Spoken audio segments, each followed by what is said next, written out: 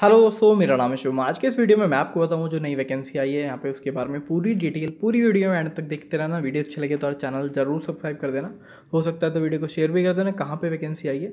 IB में vacancy आई है Intelligence Bureau Ministry of Home Affairs के अंडर में है गवर्नमेंट ऑफ़ इंडिया ठीक है सेंट्रल गवर्नमेंट के अंडर में किस किस की पोस्ट रखते हैं? आपकी एमटीएस की और एक यहाँ पे आपकी सिक्योरिटी असिस्टेंट की है। देख लेते हैं यहाँ पे कितनी वैकेंसी टोटल सौ, साढ़े सोलह सौ के आसपास यहाँ पे, डेढ़ सौ की जिसमें आपकी एमटीएस है और पंद्रह सौ कुछ के आसपास आपकी सिक्योरिटी असिस्टेंट है यहाँ पे देख लेते हैं कौन कौन सी सीट से आप अप्लाई कर सकते हो यहाँ पे सारी आप देख सकते हैं यहाँ पे है ठीक है चेन्नई दिल्ली यहाँ पे सब यहाँ पे इन्होंने यहाँ पे दे रखा है कहाँ कहाँ से आप अप्लाई कर सकते हो उसके बाद यहाँ पे देख लेते हैं इन्होंने कुछ लैंग्वेज वगैरह भी दे रखी है जिस भी जहाँ से भी आप अप्लाई करोगे तो वहाँ की जो लोकल लैंग्वेज है वो आपको आनी चाहिए अगर आपको लोकल लैंग्वेज नहीं आती है तो यहाँ पर आप यहाँ पे सिलेक्ट नहीं हो पाओगे अब बताऊँगा मैं कैसे कैसे ठीक है यहाँ पर इन्होंने वैकेंसी वगैरह दे रखी कौन कहाँ पे जैसे जनरल की यहाँ पे देख लेते हैं, अगरतला में सात वैकेंसी जनरल की है ओबीसी की यहाँ पे ज़ीरो है दोनों में एससी की एक है एसटी की पाँच है ए की एक है टोटल यहाँ पे चौदह है।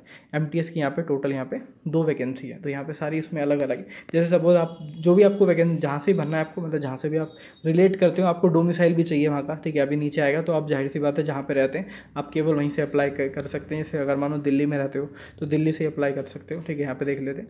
कितनी पोस्ट है, यहाँ पर उन्होंने बता रखी है, पंद्रह सौ इक्कीस आपके सिक्योरिटी असिस्टेंट है, उसके बाद एम टी एस की यहाँ पे आपकी डेढ़ सौ है। देख लेते हैं यहाँ पे डिस्क्रिप्शन और पोस्ट के बारे में इन्होंने डिस्क्रिप्शन दे रखा है कि भाई एम टी एस वगैरह यहाँ पे नॉन ग्रुप सी की है नॉन रजिस्टर्ड है नॉन मिनिस्ट्रियल है। तो यहाँ पे उन्होंने पे स्केल वगैरह बता रखा है क्या क्या चीज़ें पे स्केल वगैरह में।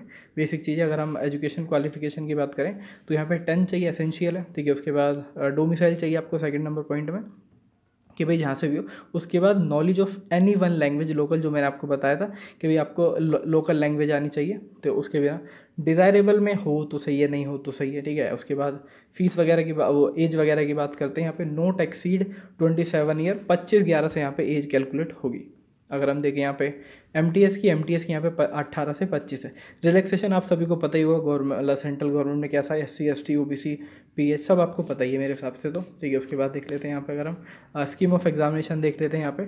डिस पहले यहाँ पे टीयर वन होगा। टीयर वन में क्या क्या देख लेते हैं। Detail of description of examination पाँच सेक्शन में है। सबसे पहला जनरल अवेयरनेस है, उसके बाद बी में यहाँ पे क्वांटिटेटिव एप्टीट्यूड है। सी आपका न्यूमेरिकल है मैथ वगैरह हो गई। डी आपका इंग्लिश हो गया। ई e आपका वापस जनरल स्टडी हो गया।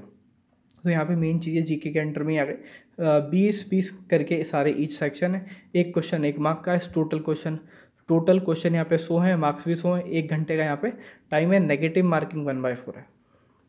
उसके बाद देखते हैं यहाँ पे टीयर टू के बारे में। टीयर टू यहाँ पे आपका क्वालिफाइंग नेचर का जैसे आपको जो भी लैंग्वेज से आपको होगा तो उस लैंग्वेज को क्या करना पड़ेगा आपको? जैसे कि आपको मानो आप दिल्ली से अप्लाई करा पाए तो आप दिल्ली में क्या यहाँ पे? हिंदी लैंग्वेज है। देख लेते हैं एक बार हम।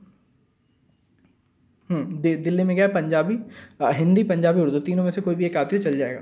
ठीक है, अब जैसे सपोज़ हमने हिंदी करा, ठीक है, हिंदी से आपको कोई भी एक पैरा मतलब पहले वो बोलेंगे, वो आपको इंग्लिश में करना पड़ेगा, फिर वो जो इंग्लिश में आपने लिखा है, वो आपको हिंदी में करना पड़ेगा तो क्वालिफाइंग नेचर का पचास में से केवल आपको बीस नंबर यहाँ पे लाने पड़ेंगे, ठीक है। उसके बाद यहाँ पे टीयर मतलब वही आगे, यहाँ पे अगला सेम वही है, ठीक है। उसके बाद टीयर थ्री यहाँ पे इंटरव्यू वगैरह दे रखा पचास क्वेश्चन पचास मार्क का जो यहाँ पे मेरिट लगेगी वो पहले और सेकेंड टीयर वो थर्ड ईयर पर लगेगी सेकेंड आपका बस क्वालिफाइंग नेचर का है। नेगेटिव मार्किंग मैंने आपको बताई दी वन बाय फोर है। यहाँ पे अगर हम देखें कब से यहाँ पे फॉर्म निकलेंगे पाँच ग्यारह से लेके यहाँ पे इन्होंने दे रखा है, पच्चीस ग्यारह के बीच में फॉर्म निकल जाएँगे। उसके बाद देख लेते हैं यहाँ पे एग्जामिनेशन फ़ीस टोटल यहाँ पे फॉर्म फ़ीस पाँच सौ रुपये, जिसमें से पचास रुपये एग्जामिनेशन है, चार सौ पचास रुपये रिक्रूटमेंट प्रोसेसिंग चार्ज है। ठीक है, सारी चीज़ें मैंने आपको बता दी, उम्मीद है सब कुछ समझ में आ गया होगा। कोई डाउट रह गया हो, कुछ पूछना हो, कुछ बताना हो, नीचे कमेंट कर देना। अब मैं मिलता हूँ आपसे अगली वीडियो में, तब तक के लिए गुड बाय